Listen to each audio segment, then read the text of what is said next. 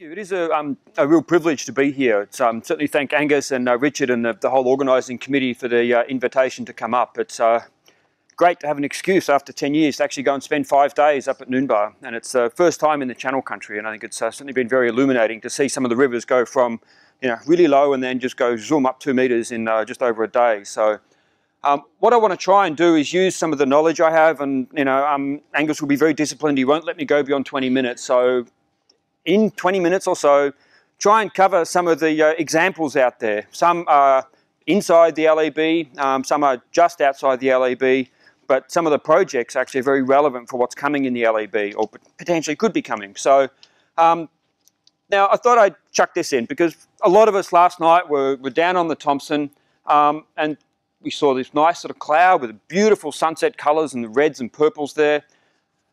And in some ways, that's the sort of system we're trying to protect.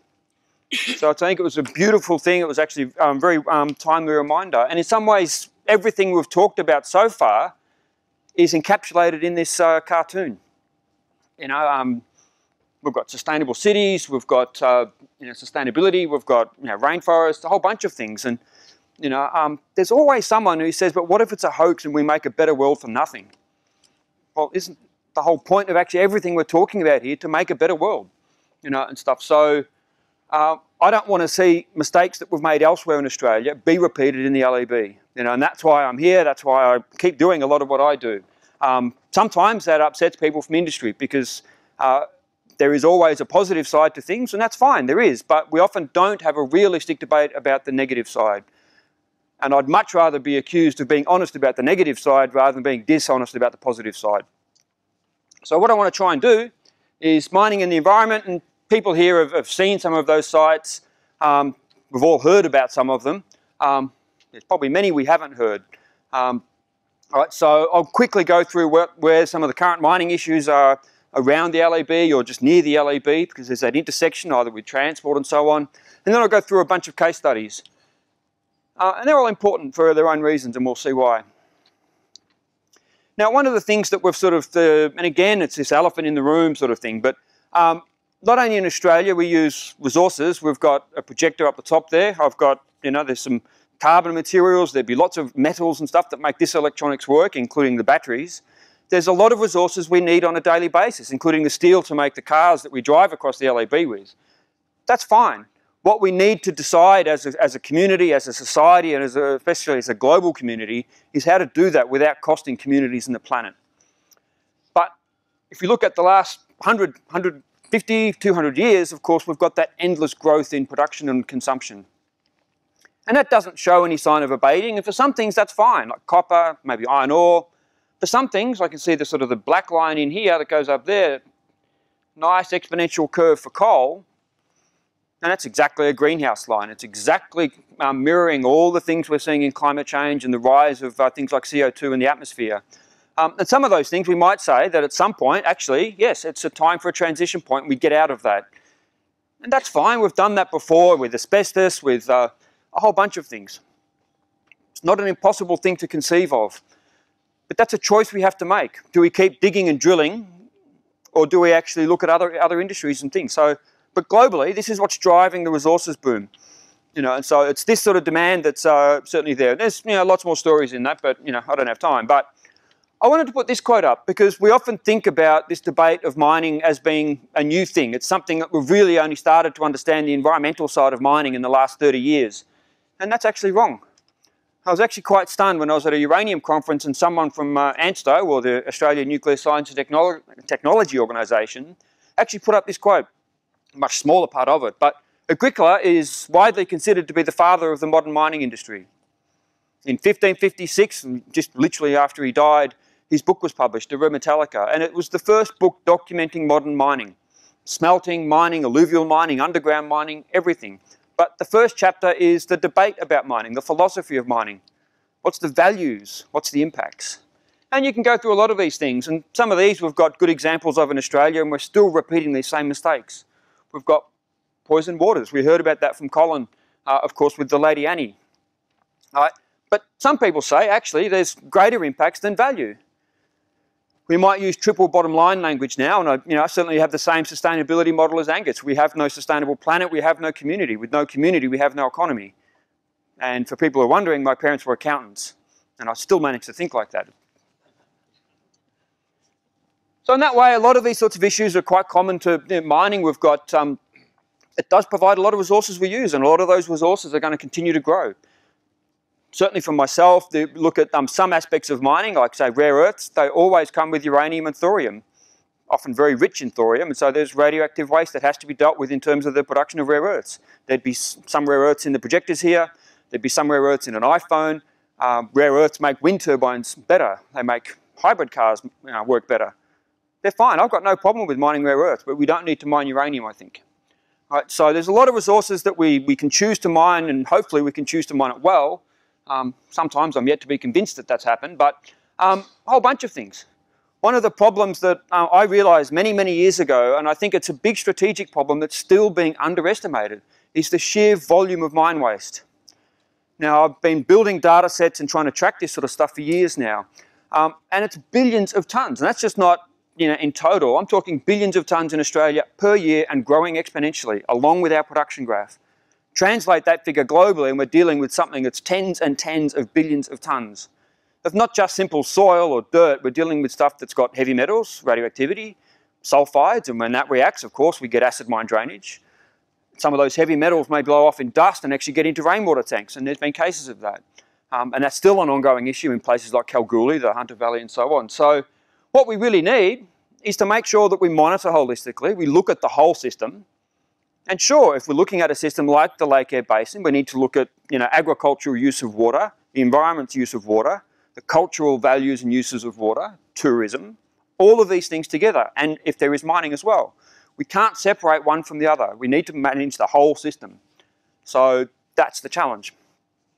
So if we look at the Lake Eyre Basin, uh, a lot of the Lake Eyre Basin, it's a very large sedimentary basin that's uh, you know, underpinned in most part by the Great Artesian Basin. Um, there are some big projects. Um, Olympic Dam or Roxby Downs, of course, was um, is still one of the biggest projects on the cards. It's a, a super giant deposit. And I don't say that because I want to. I say that because that's the evidence. That's the data. It's amongst one of the most valuable deposits in the world. And that's just based on the copper, uranium, gold, and silver, and ignoring the fact it's also got the biggest deposit of rare earths, which are not being extracted. Um, other things that we've got include oil and gas. So we've got the traditional conventional gas, like Moomba, Eromanga. Um, We've also got the move potentially into coal seam gas. Some of those are in areas up in the sort of closer to the um, recharge zones of the Great Artesian Basin. Um, but as we've heard recently, a few weeks ago, of course, there's some companies trying to promote things like shale oil or shale gas or potentially even underground coal gasification, which is something that I hope we really never get, done, get go down the path of in Australia. Um, so some of those projects are either directly in the LEB or just outside it, but of course that intersection of transport, of infrastructure, all of that. And within all of that, of course, we have the GAB, the Great Artesian Basin Issues, which underpins that.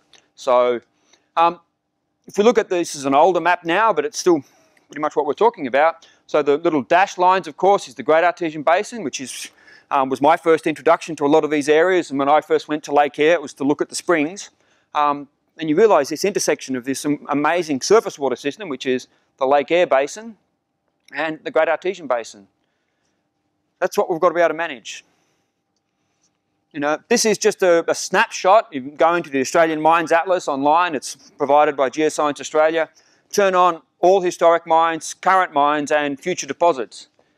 And you can see there are many parts of Australia that we've had mining, and a lot of that's been non-controversial. There's some like uranium and increasingly things like coal and coal seam gas are controversial and will remain so. Um, right? But this area in the middle here, and that's largely because most of the geology that we're dealing with the Lake Eyre Basin is sedimentary. That suits things like oil and gas, so we've got um, sort of Moomba in the middle here, um, and then around the edges you've got some of the um, provinces like Mount Isa, some gold up around here, and the odd thing elsewhere. So, of course, whether that changes or not is another thing. Now, one of the projects, when I first started looking at the science of all of these things, um, when I first got involved many, many years ago in the late 1990s, um, was the old Mary Kathleen uranium mine. Halfway, roughly, between Cloncurry and Mount Isa. Um, these days, we'd call it a pretty small mine, but back in the 50s and 60s and even in the 70s, it was very important. It was considered a you know, nation-building exercise. Um, they exported close to 9,000 tonnes of uranium. Um, these days, that would be a couple of years' production out of the Ranger uranium mine. But they closed it in 86 finally, uh, and they rehabilitated it. Now, when they did that, uh, that rehabilitation was considered to be so good that it won a National Engineering Excellence Award. So Engineers Australia or the Institution of Engineers Australia um, gave it that award because these are the sort of assumptions that they thought were pretty good at the time. The tailings dam, which was covered over with soil, um, there would be minimal seepage from that tailings dam. There'd be no uptake of radionuclides and heavy metals into, the, into um, vegetation, so there'd be no um, grazing risk, so therefore you could return that property to some sort of productive use. There'd be no acid mine drainage. That's just a fancy term that we engineers use for toxic water, and I really do mean toxic when I say that. Um, uh, but also it would be physically stable, so it wouldn't be uh, subject to significant erosion. Now, come back 15, 20 years later, because how long do we need to monitor these things for? The radioactivity of tailings from a site like a uranium mine will be radioactive, well, the half-life of uranium is 4.5 billion years. So 4.5 billion years from now, it will only be 50% radioactive as it is now. So if we think about that, it actually it's perpetually radioactive. We can't think of it in any other way. So we have to isolate that stuff forever. Forever into human history, into the future, whichever way humanity goes. Um, now, if you come back 15 years later, and um, Bernd Lottermoser, I, I, not my work, often a lot of industry people like to think I make stuff up, but I don't. I ground truth stuff. I watch what's going on, and I visit sites myself, and I have been to Mary Kathleen myself. Um, and Bernd Lottermoser's work with a master's student has shown that three of those four assumptions are wrong and significantly wrong. So if you look at some photos, um, you can see the old open cut there. What you can also see is evidence of acid mine drainage and also just you know, stock or other animals walking straight through that. Right, so you can see the, sort of some of the salt scars that are coming out. So clearly there is acid mine drainage there and you can see that in this photo and that's the sort of the classic sort of red that you get which is the sulfide or iron pyrite and when that um, chemically reacts in the surface, of course, you get rust, iron hydroxide or oxyhydroxide. You also see the salts and so on coming out from there as well. That's a nice toxic soup. So there is acid mine drainage, there is greater seepage, and lo and behold, there is actually a risk to grazing cattle. And it's not me saying that, this is published in a nice, very respected international journal. So this study demonstrates that large-scale invasion by um, particular species, and Angus or others probably know more about those species than me, but it does pose a dietary risk to grazing animals. So 20 years ago, almost, almost 30 years ago now, um, that site was considered so good in its rehabilitation it was given an excellence award and yet 20 years later we now know it's not good enough. Now you can use Google Earth and I, you know, I'm often one of these nerds who'll sit down and use my iPhone. I do actually use my iPhone for some things and zoom around and find old mine sites. It's amazing what you can see. And when you see this, you see an old open cut. This is just outside the LEB, um, the Calvert Hills or sort of near the Barkly um, tablelands, I guess, um, not far from Wollogorang. Um, small copper mine opened in the 1990s, or there was some bit of you know, small-scale artisanal mining before that, but a proper mine went in in the 1990s. You look at that, there's the tailings dam, it's water, um, and you look at that, doesn't seem too bad. Until you actually go next door and actually visit the site for yourself. I have never seen a site so intensely polluting, and I don't say that lightly to see the seepage going through the water table of pure acid mine drainage water, the likes of which is actually a commercially commercial grade copper solution, going straight through the water table and going straight into the old open cut, just draining freely out there, and then this is Hanrahans Creek, biologically dead. You know, and the TOs that, um, that used to live on this area are sort of uh, not exactly very happy. All right, and of course, in the creek, you've already got basically, you know, battery acid conditions. Another one, of course, which is more recent and very current, is the old Mount Morgan um, gold and copper mine. It operated for a lot longer. It wasn't just a couple of years in the 1990s like Red Bank, but it lasted for a long time. And you can see some numbers there. But if you can imagine 8 million ounces of gold, you know, the, the current gold price, you can probably start to get a sense of its importance. It was one of Australia's giant gold mines. Um, but the pollution of the Dee River has been going on for a century. Uh, and it was largely just ignored. You know, and I've found it quite bizarre in some ways that one of Australia's most polluted rivers um, has had virtually no attention. Now, the Queensland government realised that when it shut down in 1990, um, that they did some works, and uh, I'll at least give the Campbell Newman um, government um, credit for the fact that they haven't cut the budget back on the Mount uh, Morgan um, rehabilitation project yet, um, but still not good enough. It's like putting a band-aid over a uh, you know, bleeding artery. Right, so but there was some work's done and that's continuing, but it's not fixing the primary source of the problem, which is all the waste rock, all the tailings and so on. And of course, that's the old mine site. You can see the open cut. Now, it was only from about 160 million tonnes of mine waste. And 10 kilometres downstream in the Dee River, that's what it looks like.